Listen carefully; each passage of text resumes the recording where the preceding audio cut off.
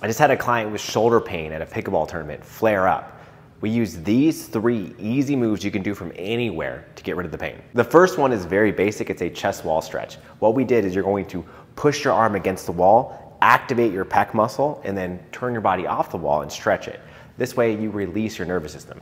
So the first thing you do is make an L, push into the wall with your arm, flexing your pec, and then release, turn off the wall.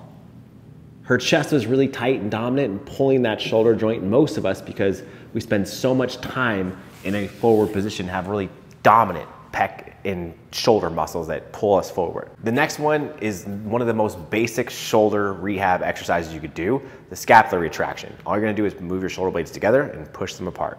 That's it. But for most people, this feels really chunky, so test it out for yourself. I put my hands on the wall, elbows extended. I'm gonna pinch my shoulder blades together and then push them apart. You wanna do about 10 of these until it feels smooth. Now, it may not happen on your first day that it feels smooth, but think of the scapula or the shoulder blade as your foundation for the shoulder joint itself. If this is off, the rest of the shoulder joint is gonna be off too. Lastly, we did a pendulum swing. Now what this does is it distracts the joint lightly, meaning it pulls the joint apart, not it takes it off of its task.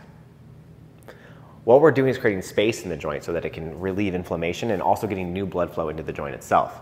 Now, make sure as you do this, you maintain a straight back and you don't want to use any muscles in the shoulder joint. You want to let it hang and let the weight do the work of pulling it down so you're getting that distraction.